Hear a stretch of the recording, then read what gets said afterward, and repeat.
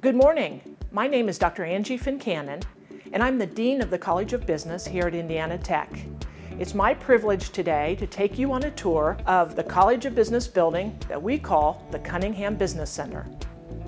We begin our tour in the foyer area of Cunningham, an often bustling common space where our students can study, meet their friends, or have a cup of coffee.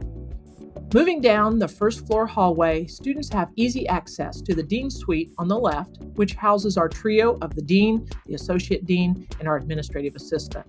The large glass case is where we display each year's outstanding College of Business graduates from each degree program and our overall outstanding Business Student of the Year.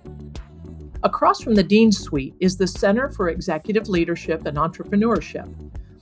It is an active space for students and outside business participants to work with business leaders, to work together on a project for a class, or even take advantage of the large screen TV for virtual meetings.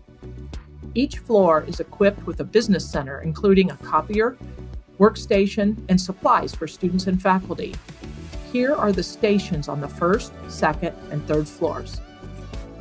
Cunningham was designed to include several faculty suites comprised of four faculty offices with a shared common space in the middle. Students often study at these tables, but it also provides an ideal space to meet with a faculty member right outside of their office and we have faculty suites located on each floor just like it. This first floor suite shown here is for the PhD program. Here we have the Dean's Conference Room, a multi use space that is used frequently for academic, department chair, and department meetings.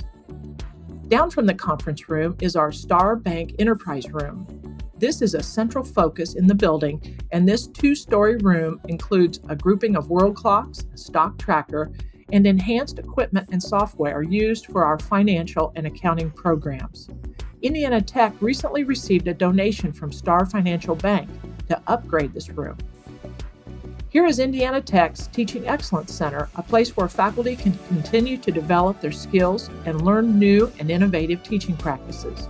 Frequent faculty workshops and meetings are conducted in this space. Just off the stairwells between each floor, there are beautiful glass walled study rooms where students can conduct small group meetings or just relax, study, and enjoy the view. Now that we're on the second floor, let's take a peek at a few of our classrooms. Each classroom ranges in size to accommodate from 22 up to 34 students. This classroom is one of our computer labs.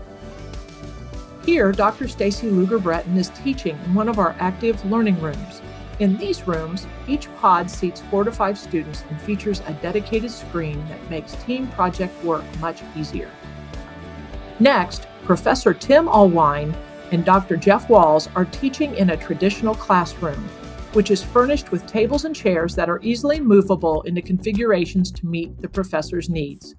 We try to assign classes to rooms that best suit a professor's teaching style and course content so that our students receive the best learning experiences possible.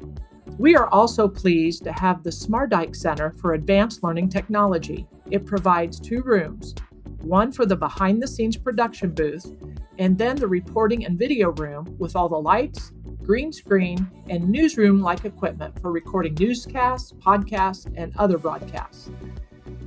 At the end of the second floor is our student lounge. This is a very large space with views in three different directions. Students get to relax, meet, or enjoy their lunches together. We provide a sink, coffee maker, microwave, and also a snack and beverage vending machine. Entering the third floor, we have the college's large conference room. We hold monthly faculty meetings there, as well as our College Board of Advisors and also our Undergraduate Student Advisory Board. Also on the third floor, we have a nice space available for our adjunct faculty, with computers and other materials readily available to them. Next door, we have a faculty lounge. This is a space for faculty to enjoy their lunch, relax in a quiet space, or meet. We keep this lounge well stocked with needed class supplies, coffee, and snacks both here and in the Dean's Suite. The Cunningham Business Center is very busy with activities on each of these three floors, many classrooms, computer labs, and spaces for studying and gathering.